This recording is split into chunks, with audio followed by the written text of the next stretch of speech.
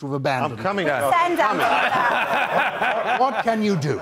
Okay. That's it, Giles. Thank you can you. relax. Thank you. Be back in you. bed. Very next week. comfortable You can go and have a lie down. We're going into a film if you want, Anthony. It's entirely up to you. But uh, anyway, the uh, the salmon fishing season is in full swing on the River Tay in Scotland, and anglers will be trying everything to land the biggest fish of the year. Yes, but as Martel Maxwell finds out, some of them might as well just give up now.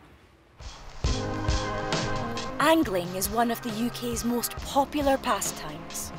But what might surprise you is that some of the biggest salmon ever caught were actually caught by women. So I've come to one of the most famous fishing rivers in the world. I've got my rod, I've got my wellies. Now all I need is a fish.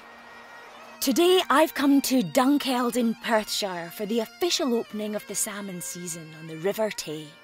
This stretch of the river is very close to the scene where Georgina Ballantine landed the largest ever rod caught salmon in 1922.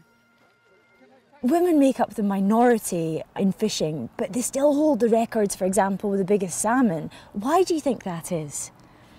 I think women have a certain level of patience, perhaps, that uh, men men expect to be good straight away. Women are, are willing to be taught, and I think women have great intuition. Well, it's time I gave this a go for myself. Jane Wright is an angler who was awarded an MBE for services to fishing, and who better to get a few tips from? Remember to let, that's it, that's straight out, you see. And let the line go next time. Okay, I'll do it again. Most big salmon caught are male or cockfish, so some say it's the smell of a woman's pheromones that attracts them. This theory about the pheromones, it wasn't made up by a fisherman who was trying to make excuses for women being good. It was by a, a, a scientist. It was, it was by a professor of neurology in Glasgow. Have you ever heard the tales about men tying the flies with the wife's hair just to get the Do- do- pheromones? What do you think? Have you ever heard of that? I have heard of it, and I believe it works. And I think ginger ones work best. I'm in luck. but it's not totally uh, conclusive, I would say. I love it.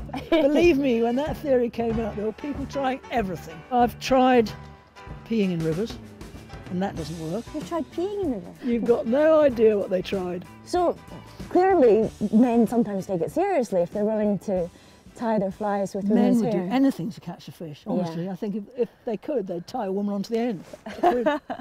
Maybe my pheromones are having an off day, but it looks like at least one person has had a tight line today.